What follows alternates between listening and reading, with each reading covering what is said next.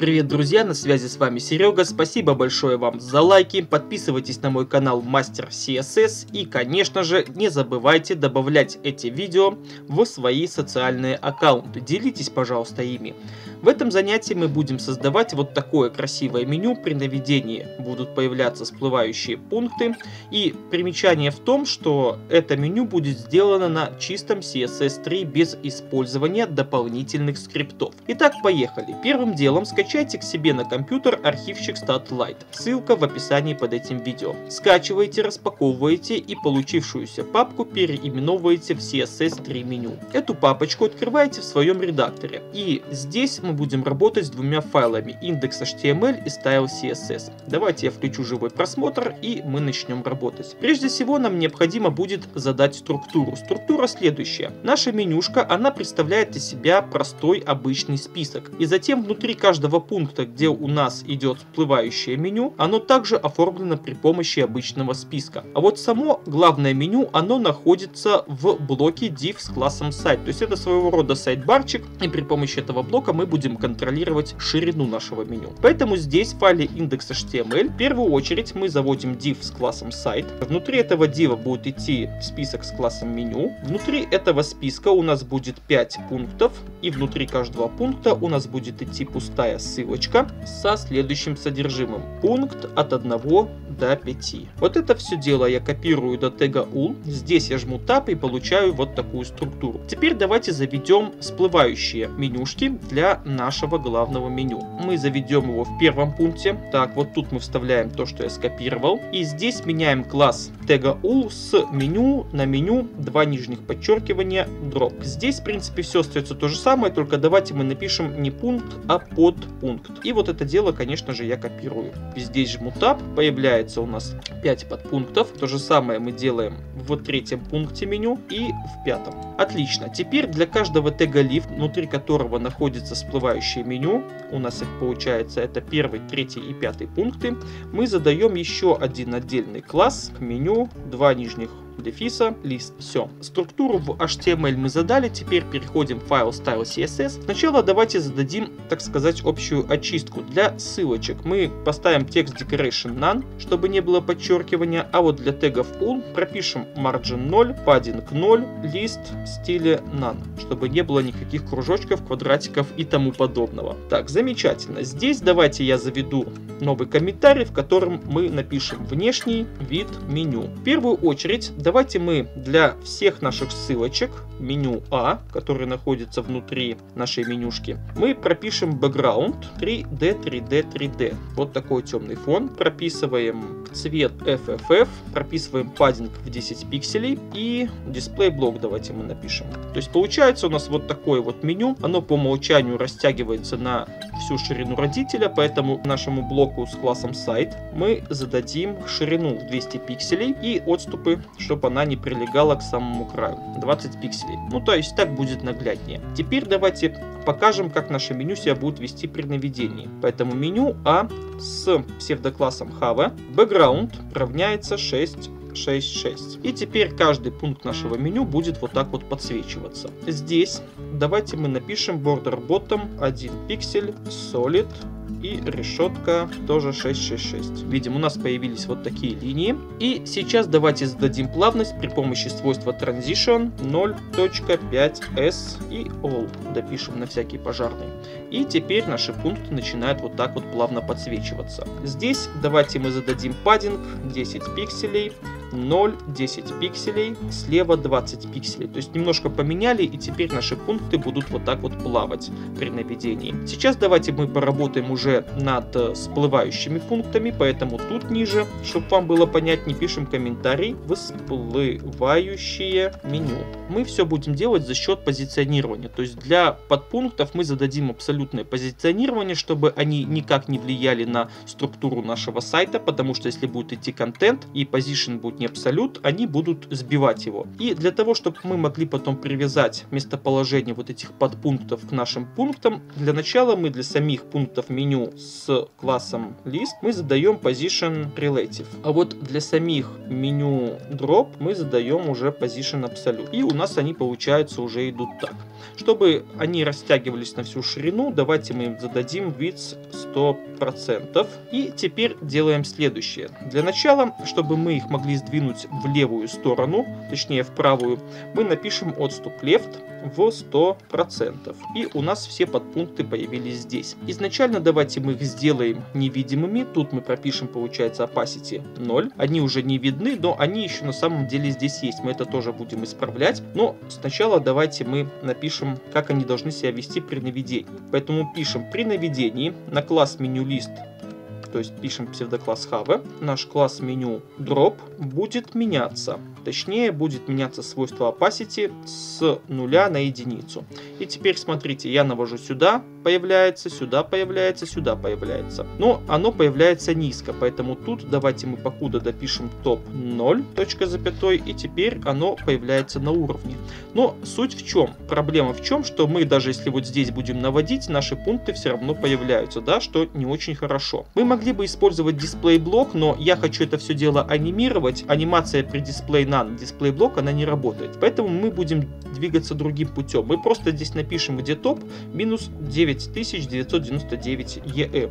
И наши пункты улетят туда, в самый верх, и теперь при наведении мы просто поменяем этот топ двоеточие на 0. И теперь смотрите, тут ничего не появляется, но когда я наведу сюда, появляется все, да? Наведу на третий пункт, тоже появляется, и на пятый все отлично работает. Теперь добавляем анимацию. Давайте я отсюда это скопирую свойство, ставлю сюда и видим. Опа, опа, опа. То есть сверху выпрыгивает. Чтобы не выпрыгивало сверху, давайте мы поменяем all на opacity. То есть, чтобы наша анимация, она применялась только к свойству opacity. И теперь смотрите, у нас все начинает плавно появляться. Отлично, это нам и было надо. И теперь делаем следующее. Допустим, что здесь мне не нравится, это то, что наши пункты с подпунктами сливаются в итоге. Если мы здесь напишем, например, left 105%, то есть у нас получится отступ, то когда мы попробуем перевести на него, наше меню пропадет под меню, потому что здесь пустое пространство, хава пропадает и оно тоже исчезает. Это значит не катит.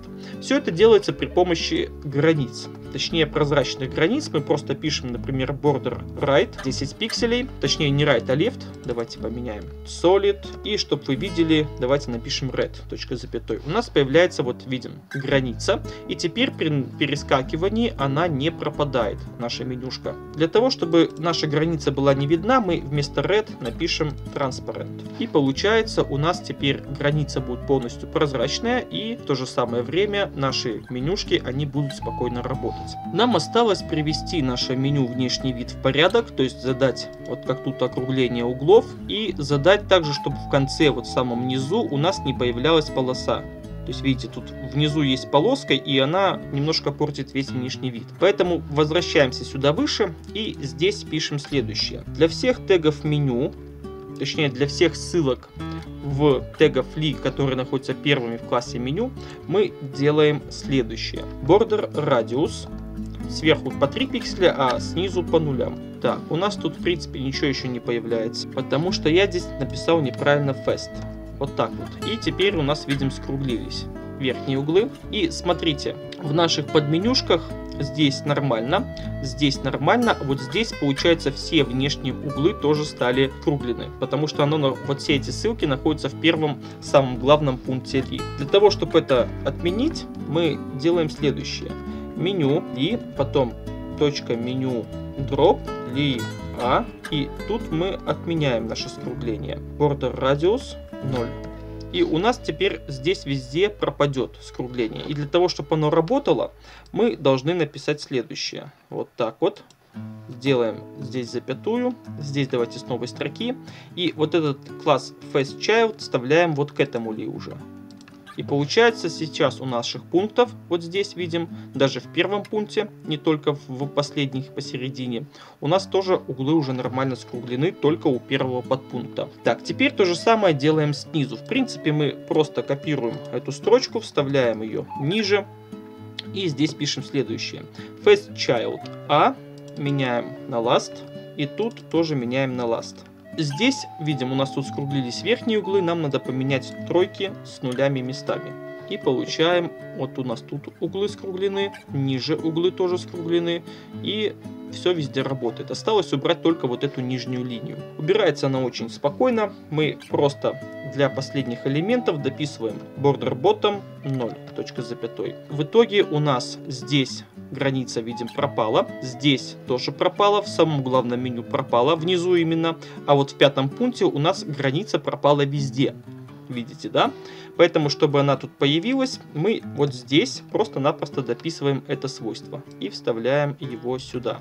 И теперь видим в последнем пункте всплывающем она тоже появляется. Двигаемся дальше. Все, что нам осталось, это дописать вот эти треугольнички, которые у меня здесь есть. И это делается тоже легко. Давайте мы здесь заведем иконки для всплывающих менюшек. Так, иконки задаются для вот тегов ли, на которые мы наводим. Это теги с классом меню лист, поэтому я вот это вот копирую, вставляю ниже.